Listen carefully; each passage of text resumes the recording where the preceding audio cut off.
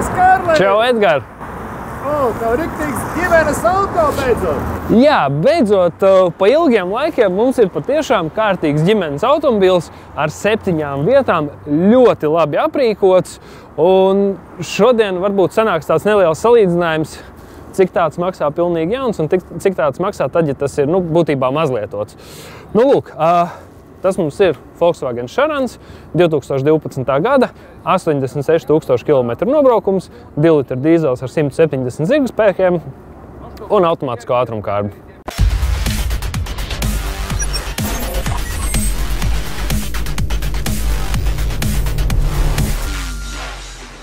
Stāsts par šo automobili īstenībā ir ļoti vienkāršs. Cilvēkam ir vajadzība pēc tāda, Pats tādu arī sameklēju, kas pēc aprīkojuma un, un, un nobraukuma un tā tālāk cenas tā skaitā apmierināja. Mēs izdarījām savu darbu, pārliecinājāmies, ka ar automobili viss ir kārtībā. Atvedām šurp. Te nu tas ir. Kā jau minēju, tad aprīkojums ir labs. Pirmās divas lietas, kas ir redzamas jau no priekšpuses, tātad mums ir uh, LED dienas gaismas ar ksenonu lukturiem, mums ir uh, parkošanās sensoru priekšā, kas nozīmē, ka ir parkošanās sensori arī aizmugurē, un šai automašīnai ir arī atpakaļ skatu kamera. Ejam tālāk, mums ir smuki 18 colu diski, oriģināli. Vēl viena no lietām, ko uzreiz nevar pateikt, bet uh, ko no ārpuses tā vienkārši neredz, bet šim automobīlim ir elektriski atveramas un arī aizverams sānu durvis, kuras piedāvājam pie visas līdz ar sānu nevis verās tā kā parasti vaļā, kas ir ļoti ērti tajā brīdī, kad ir kaut kādas šaurās vietas vai ir mazi bērni un tā tālāk. Vienmēr sakot, praktisks auto. Ja jau mums ir elektrisks sāndurvis, vai mums ir arī elektriski atverams un aizverams bagažnieka vāks. Šī gadījumā atbilde ir ļoti īsa. Jā, ir. Kopumā šim automobilim, kā jau redzat, uzbūve ir labā stāvoklī. Skaidrs, ka kā jau ģimenes mašīnai Ir tur šādi, šādi tādi mazie skrāpējumi, kas arī principā astoņgadīgai mašīnai ir normāli. Viena no foršajām lietām, kas ir, ir, ka mums ir uzlīmēta uz aizmugurējā bumpera šī uzlīme, un redzam, ka tā viss cauri ir noskrāpēta. Patiesībā, ja mēs to norautu nost, mēs redzētu, ka apakšā bumpers uh, lielākā, nu, viena daļa no tiem skrāpējumiem būs uz bumpera, bet lielākā daļa tomēr būs palikuši tikai uz uzlīmes, kas ir, nu, manuprāt, ļoti laba lieta, un principā jaunais īpašnieks var mierīgi paņemt noraut nost veco, uzlīmēt jaunu un sākt jaunu skaistu dzīvošu auto. Kā tam iekšā paigi augsts? Kā tam ir gan augsts? Tur ir silti vismaz kā? Jā, te ir silti, jo es jau to mašīnu kaut kādu mirklīt siltu, plus mums ir sēdekļa apsilde. Kā jau minēju, mašīna ir ļoti labs aprīkojums. Īstenībā tam mēs arī pieskarsimies bišķītiņu braucot, jo nu, te ir viss kaut kas. Te ir piekares cietība, te ir parkošanās. Ma mašīna, kā saka, pati var noparkoties, ir vadītāja sēdeklis, elektrisks ar atmiņu un tā tālāk.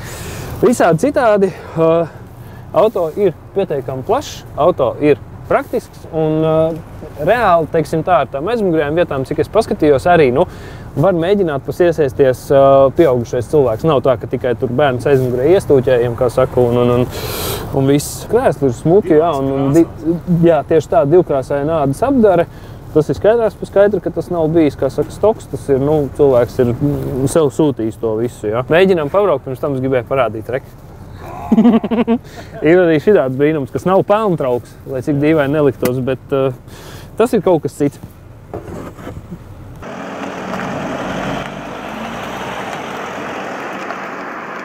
No, braucam, Kārli! Jū, braucam. Un, starp citu, teiksim tā, it kā šķiet, nu, ģimenes mašīna, zin, tāds mini-busiņš un tā tālāk, ja, kad, nu, tur pātrumu un pātrinājumu ir jāizmirst, bet šis aparāts iet ļoti labi īstenībā. Viena mirkli šarāna bija nu, baigā topā. Katrs latviečs uzskatīja, ka viņam ir šarāna. Kaut, kaut kas uz to pusi bija. Jā. Es pat nemāku izskaidrot, uh, kāpēc tas bija tā. Droši vien, ka praktiskais latvietis sēdēja iekšā, ka man ir vajadzīgs liels auto, kurā, ja nu man vajag, es varu visu kaut ko arī vest. Tas nekas, ka man to vajag varbūt reizes gadā, bet uh, jā.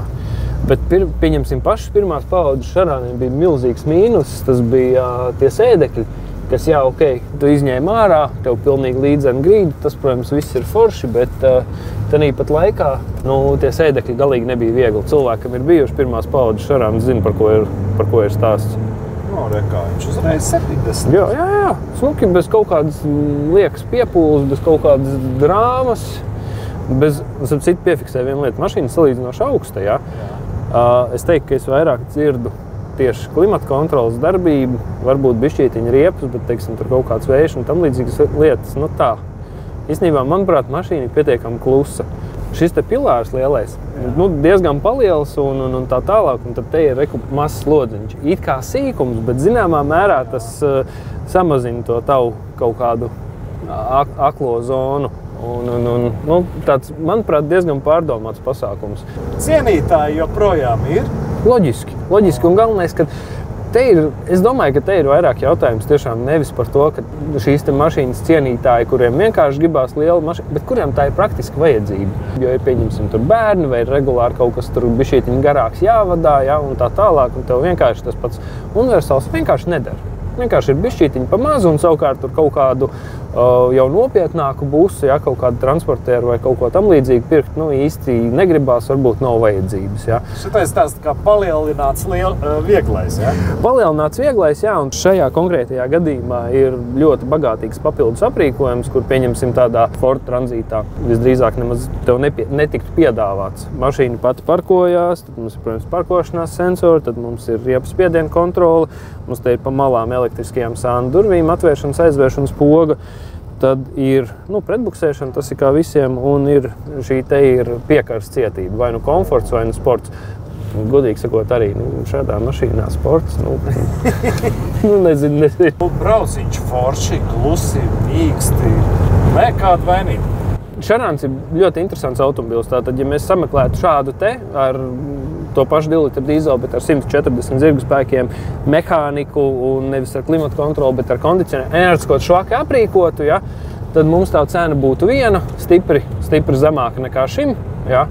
Uh, savukārt, kā šis ir labi aprīkots, ja, tad skaidrs, ka tas ir dārgāks. Uh, tad pat laikā, nu, tad, kad tas ir bijis jauns, nu, tā cena, godīgi sakot, ja nemaldos, šāds maksās kaut kur 45 1000 eiro, varbūt pat arī vairāk. Volkswagen ir viena no tām mašīnām, kur tās starta cenas ir it kā zemas, bet tikko tu sāc likt iekšā visu visādu aprīkojumu, tā tās cenas diezgan ātri izaug. Līdz ar to viena no lietām, kas ir, ko var darīt, ir paskatīties, teiksim, mazliet to pēc izvēles un pēc rocības, kādu varam un gribam atļauties to nobraukumu. Vēl ir iespēja, ko, ko, ko, ko dažkārt internetā piemin, ir nopirkt uh, SEAT, SEAT kas arī ražo, kas principā ir praktiski viens un tas pats automobilis. Vienkārši ir, nu, te nav Volkswagen, bet sīta emblēma. Manuprāt, šādu tēmu mazlietotu vai, vai, vai kaut kādus 5 gadus vecu, 5, 7 gadus vecu nopērkot, arī nebūs nekāda vaina.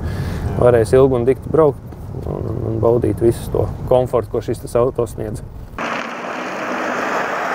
Nu, ko, apstājāmies, lai parādītu arī no praktiskās puses. Uh, Kā mēs varam panākt līdzenu grīdu šim automobilim? Īstenībā ļoti vienkārši. Te ir kloķīts, pavalkam uz sevi, pabīdam uz priekšu, šo te noliekam šādi te. Yeah. Un tad mēs aizejam no sāniem. Tā, šitās. Oba, šitā, šitā. Šitā. Nu, un tad vēl paliek tas, bet to es šobrīd nerādīšu, jo tad man jāņem ārā. Vienā pusē es jau izņēmu šo te bērnu sēdeklīšu sadaļu, otrā pusē Šodien ārā ir augsts un negribās pavadīt laiku ārpus siltām telpām. Klausies, tā kā tāda gulta sanāk. Tu būtībā jā. Būtībā jā. Un, un, un, uh, un pats galvenais, ka tev tie sēdekļi nav jāceļ ārā. Galvas balsti tā kā karuseļos.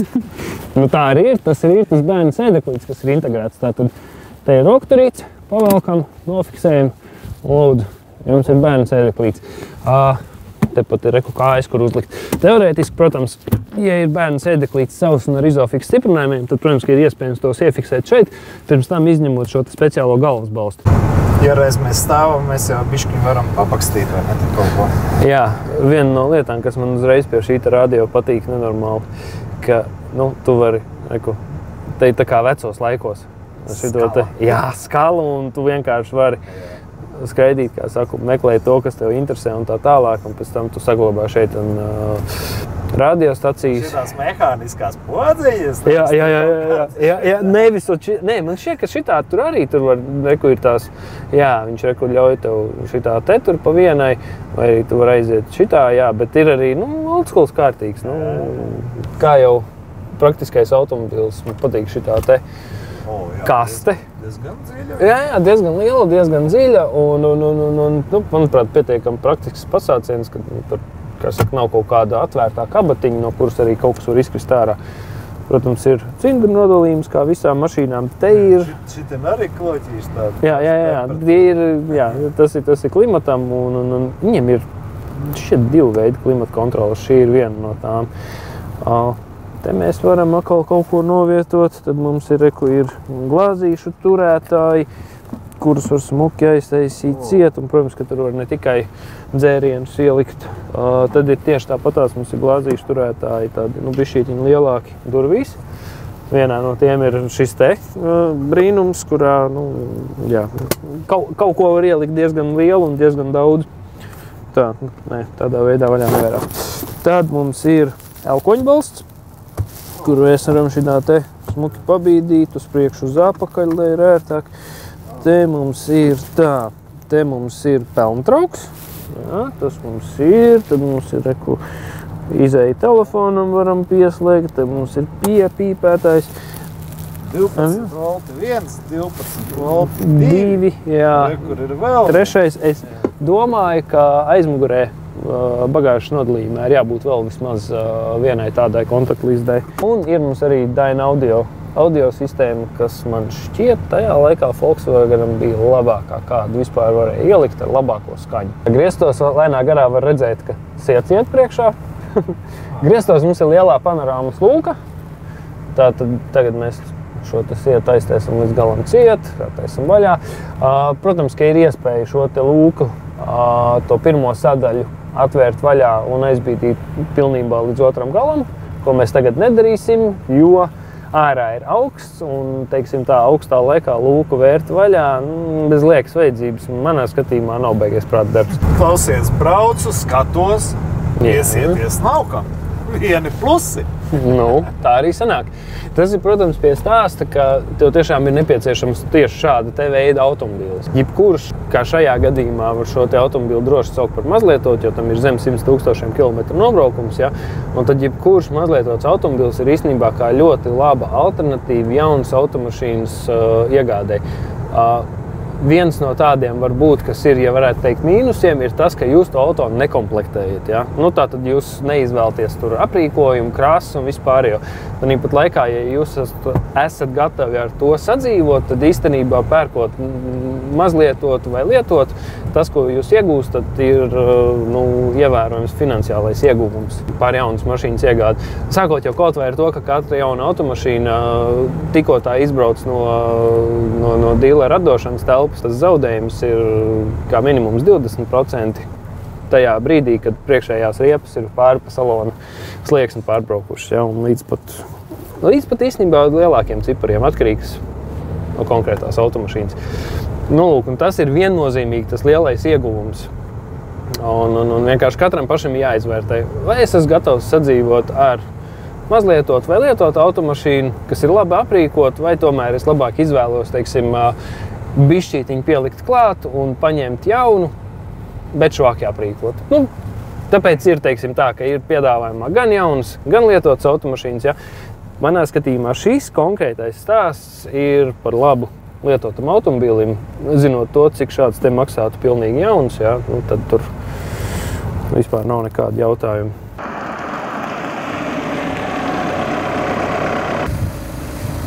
Pēc ilgiem laikiem esmu noķēris pirmās 30 sekundes mašīnā. Jūs tiešām šeit esat 30 sekundes. Jā, Kādi ir pirmie iespaidi? nu neko, mašīna kā mašīna. Beidzot, jā, jācer, kad labi ripos. Vai ir bijis šitās šarāns iepriekš jau? Nē, nav bijis. Man Voyager, es braukāju Voyager ilgus gadus. Tas ir čuču lielāks. Ir. Un, un, un, un tagad man tā kā jau izaudzis no mazākais no ratiem ārā, tad izskatās, ka varētu būt šitam vietas. Un tad gribējās pamēģināt kaut ko savādāku. Savādāk nekā. Ilgi tas- meklējāt. Baigi ilgi nē, baigi ilgi nē. kaut kādu, nezinu, mēnesi, varbūt tās mēnesi. Vairāk, nē, bet nu, tas tā, nē, nu, tas tā ap- intensīvā meklēšana. Pirms tam bija tāda, kad tā domās vairāk noskaņojās, ka pamēģināja, paskatījās un, un tā tālāk. Kāda ir sajūta, kādas bija bildes internetā un kāda viņa dzīvē? Uh, izskatās, ap, cik apgāja apkārt, izskatās, ir tas pats. Ir, ir tā, kā internetā tā ir. Protams, ir tas, kas man vienmēr ir pārsteidzis, kad, kad arī tad, kad skatāmies sludinājumos, ka viņi vācieši pat laikam nevīžo iztīrīt, notīrīt, nomazgāt, kas mums parasti ir tāds tipisks, kad pārdod, tad visu nopulē līdz pēdējiem, viņiem tas tā nav. Bet, nu, rokas jau no neaug, tad jau paši to varēs izdarīt. Nu, sajūta ir laba. Ja? Jā, nu vēl pabrauksim, pastīsimies, kā rūtas. No, loģiski. Nu, ko, tāds bija stāsts par šo te tautā mīlēto automobīli Volkswagen Šarānu. Par tā iespējami milzīgu aprīkojumu, ko īstenībā ir iespējams atrast un iegūt savā īpašumā. Nu, un, protams, arī nelielais salīdzinājums starp jaunu, mazlietot, lietot iegādi. Nu, kā saka, lai ir viela pārdomām, bet kā jau vienmēr, ja jums ir nepieciešamība tikt pie šāda, līdzīga vai varbūt pie kaut kāda pilnīgi citādāka veida automobīļa, tad droši vērsieties pie mums, mēs jums palīdzēsim.